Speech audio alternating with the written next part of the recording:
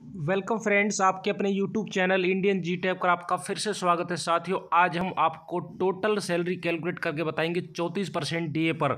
यानी चौंतीस percent DA होने पर आपकी टोटल सैलरी कितनी बनेगी, चाहे वो एनपीएस का कर्मचारी हो, चाहे जीपीएफ का कर्मचारी हो, और कितना उसका डिडक्शंस होगा, और उसके बाद नेट सैलरी उसको कितनी मिलेगी, ये सारी डिटेल में आप आज हमको बताने वाले हैं। इससे पहले साथियों, अगर आप हमारे चैनल पर नए तो प्लीज़ चैनल को सब्सक्राइब कर लीजिए बेलाइकन दबा लीजिए, ताकि इस तरह की जानकारी आपको समय समय पर मिलती रहे। तो सभी केंद्रीय कर्मचारी और स्टेट गवर्नमेंट एम्प्लॉयज़ देख सकते हैं, ये सैलरी कैलकुलेटर हमने ओपन कर लिया है तो आपको यहाँ कुछ नहीं करना। आपको पता है कि सेवन पे कमीशन के बाद हमारे पास सैलरी के लेवल आ चुके हैं तो उसके बाद उसके पहले हमारे पास बेसिक पे होती थी, अब हमारे पास लेवल आ चुके हैं तो आप अपना लेवल यहाँ डाल सकते हैं, यानी कि अगर आपका लेवल सिक्स है तो ग्रेड पे बयालीस में आएगा, और उसके बाद आप बेसिक पे इसमें डालेंगे, आपकी बेसिक पे कितनी आ रही है, मान के चलो यहाँ सैंतीस छः हमने बेसिक डाल दी है, उसके बाद एच आपका क्या होता है, यानी कि आपकी सिटी के हिसाब से एच फिक्स किया होता है तो मान के चलो आपका एच आठ परसेंट है तो हमने यहाँ से आठ परसेंट सेलेक्ट कर लिया है और उसके बाद आप देख सकते हैं इकतीस परसेंट के हिसाब से अगर आप चेक करना चाहें तो इकतीस परसेंट डी आप यहाँ फिलअप कर सकते हैं। उसके बाद दूसरा ऑप्शन चौंतीस परसेंट का है, चौंतीस परसेंट का फिलअप कर सकते हैं। इकतीस परसेंट और चौंतीस परसेंट का अलग अलग कैलकुलेट करके दोनों का डिफरेंस निकाल कर आप एरियर भी निकाल सकते हैं, जो आपका अठारह महीने का एरियर बनेगा। तो हमने यहाँ से चौंतीस परसेंट डेयरनेस अलाउंस जो है सिलेक्ट कर लिया है और उसके बाद अगर आपका टी ए मिलता है तो आपको टी ए पर सेलेक्ट करना है। यानी कि जो भी टी आपको मिलता है, छत्तीस सौ, बहत्तर सौ, अठारह सौ, अगर नहीं मिलता है तो आपको टी ए पर ही सिलेक्ट हुए रहना देना है। उसके बाद आप यहाँ सेलेक्ट योर अपॉइंटमेंट डेट अगर आपका अपॉइंटमेंट डेट 2004 से पहले, यानी एक एक 2004 से पहले के तो आप जीपीएफ एम्प्लॉई हैं। अगर एक एक 2004 के बाद किए तो आप एन एम्प्लॉई हैं तो हम यहाँ से पहले जी पी एफ़ एम्प्लॉय के बारे में क्लिक कर देते हैं। यानी एक एक चार दो हज़ार चार, यानी एक जनवरी 2004 पहले के एम्प्लॉय उस पर क्लिक कर देते हैं।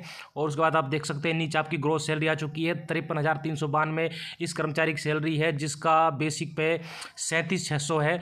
और उसके बाद आप देख सकते हैं डिडक्शन इसका ज़ीरो है। और उसके बाद सैलरी आपकी तिरपन तीन सौ बानवे। तो हमें यहाँ देख सकते हैं जो एन पी एस है इसका, वो हमारे पास, क्योंकि जी पी एफ़ का एम्प्लॉई है तो जी पी एफ़ इसका कटा नहीं है।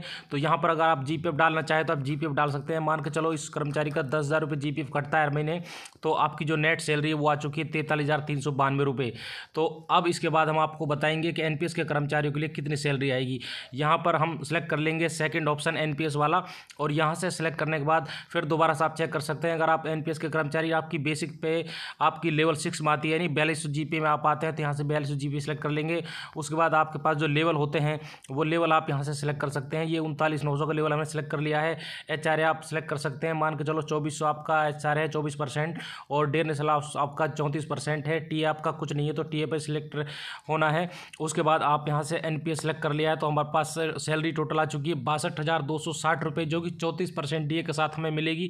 उसमें आपका डिडक्शन पाँच हज़ार अड़तीस रुपये हो जाएगा तो टोटल जो नेट सैलरी आपकी मिलेगी, सत्तावन हज़ार दो सौ बाईस रुपये आप यहाँ देख सकते हैं, आपका एनपीएस का जो डिडक्शन हुआ है, पाँच हज़ार अड़तीस रुपये हुआ है।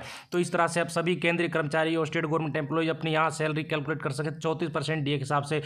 अगर आप भी चौंतीस परसेंट डीए के हिसाब से अपना सैलरी कैलकुलेट करना चाहते हो और अपना एरियर देखना चाहते हैं तो मैंने इस सैलरी कैलकुलेटर का लिंक डिस्क्रिप्शन में डाल दिया। आप वहाँ से जाकर डाउनलोड कर सकते हैं और अपना सैलरी कैलकुलेट कर सकते हैं।